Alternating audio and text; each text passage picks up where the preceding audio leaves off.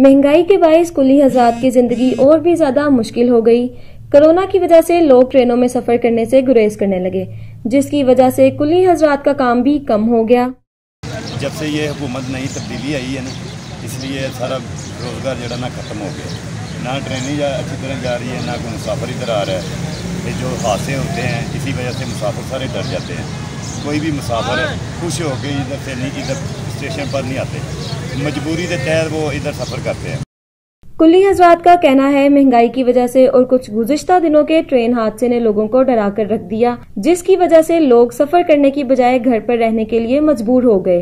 ट्रेनें मुकर्रा वक्त से लेट स्टेशन पर आती हैं जिसकी वजह से कोई कुली झूले झूलता दिखाई देता है तो कोई दरख्त के साथ खड़ा नज़र आता है। एक्सीडेंट जो होया है तो बाहर ट्रेन लेट है वजह तो सवारी नहीं निकल रही।